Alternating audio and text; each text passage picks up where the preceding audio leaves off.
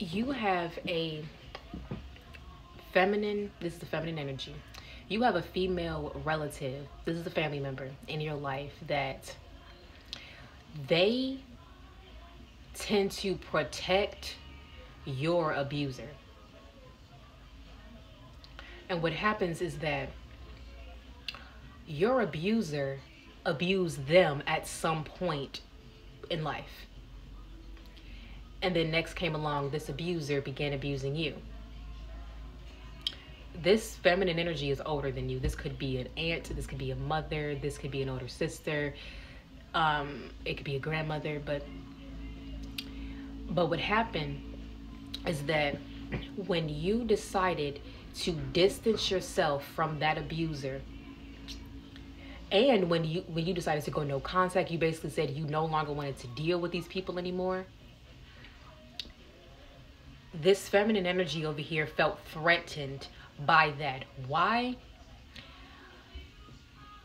Because basically they did not have the same courage that you have to cut this abuser off. They did not have the courage to go no contact. They were afraid to do that. So the fact that you are not afraid and you are have you have no fear, they they feel threatened by that because they're like, how do this person got all of this strength and all of this courage to do this, and I'm twice their age or I'm older than them and I don't even have that. And also they see the type of like strength that you have that from cutting that person off and how how better you have gotten and what they're trying to do is they're saying like, well, I can see that it's because they cut this abuser off as to why they're doing better now.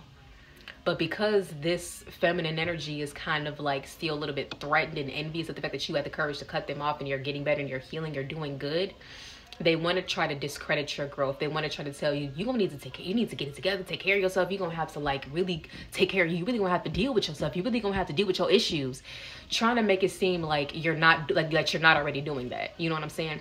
Trying to invalidate your growth that you've already done. Trying to invalidate and discredit the growth that you are doing on yourself.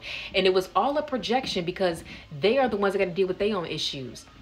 But they also want to see you in this negative light because to them that's what makes their ego eh, make sense. It's like it their mind makes sense by thinking oh they're just a bad person. They're just a cold-hearted person when really you're a strong person. Really you are just a person with boundaries. Really you are a person that stands on your ground. You stand on your two feet and your ten toes and you say fuck this shit. I'm done. I'm walking out and i don't give a fuck who i don't give a fuck what anybody thinks.